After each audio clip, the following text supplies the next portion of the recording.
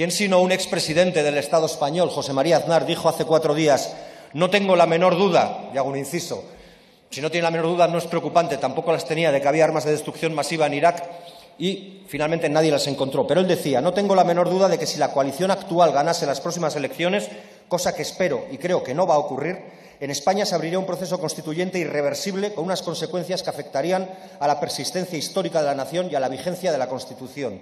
Esa es su hoja de ruta. Y esa es la hoja de ruta de la derecha extrema y la extrema derecha en todos los lugares del planeta. Porque lo que buscan es que ante una democracia debilitada en favor de las élites económicas se lancen ofensivas políticas, mediáticas, económicas y judiciales y también sociales para generar gobiernos autoritarios de sustitución a las débiles democracias occidentales y a las débiles democracias mundiales.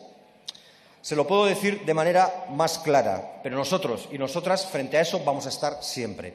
Para ser todavía más sintético, más gráfico, si la extrema derecha es al yunque, nosotros somos el martillo confrontativo.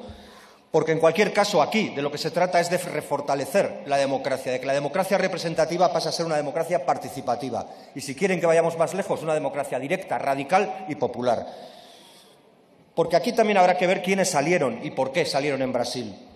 Probablemente, y así se entienda mejor, se pueda explicar diciendo que los que salieron en Brasil a secundar el llamado de los bolsonaristas fueron los que odian que haya gente que se preocupa por defender la Amazonía.